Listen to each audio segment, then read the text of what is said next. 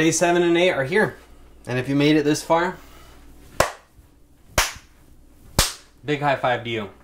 That's no easy feat. Even though this challenge is relatively simple, you're just drinking a jar of smoothie every single day, it takes some gumption, and I'm very proud of you. Let's not dilly dally, let's hop right in. In today's smoothie, we have blended through all of our baby greens, so we are now switching to red leaf lettuce. And red leaf lettuce, some people would never think to use that in a smoothie, but it's quite delicious and it's quite nutritious. You don't have to chop it up too finely because it's all going to get pulverized. In it goes.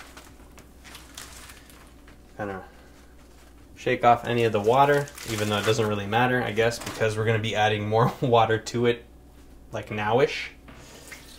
Quart of water goes in. We're also going to be parsley bombing this smoothie. So with my green smoothies, often I like to give it a little bit more umph. And the best way to do that is to add an herb. Now this could be basil. Basil is exceptionally tasty in green smoothies. It could also be things like parsley or cilantro. My floor is creaky. It's going to drive me nuts, but we're going to do this on the first take. So parsley is very nutritious and you might not think to put it in a green smoothie, but you should think it because it's incredibly delicious. In it goes. This smoothie's been parsley bombed. We have more pear. And I'm not going to tell you what I think about pear seeds because by now you already know. So, thank goodness for that. Sergei is learning how to become quick and efficient. Once again, we're going to throw the dates in with no pits. I think I just complimented myself and then I undid it shortly thereafter by talking about dates, regurgitating that information. But, you know, maybe for some of us, repetition will be helpful. At least that's what I'm going to tell myself here now. Two more bananas. In they go. Here's a fun little fact about bananas. When a banana is totally ripe, you can split it in threes just by putting your finger through the middle of it. So all fruit can be eaten without utensils.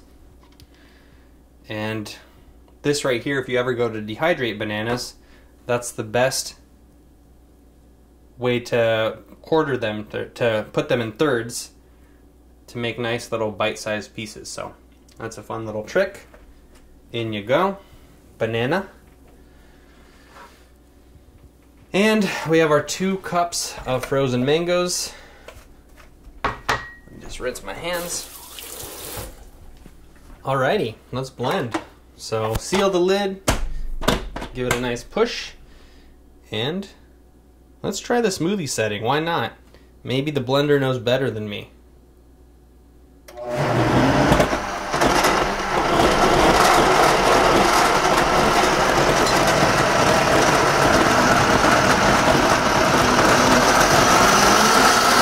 Thirty-seven more seconds.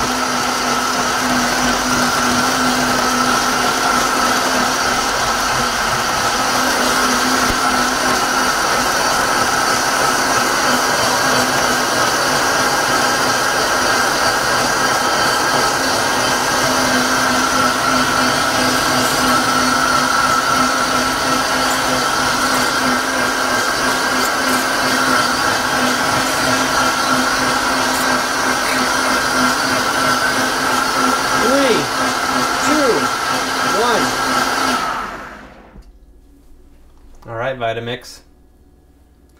Let's see how well you've perfected your smoothie presets.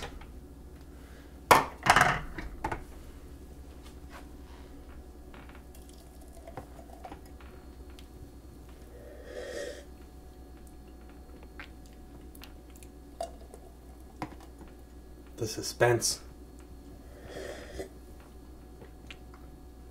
It's pretty darn smooth. Good job.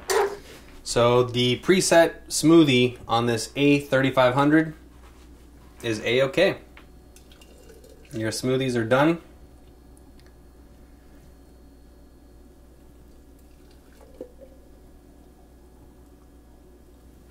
And you even have a little bit more to spare.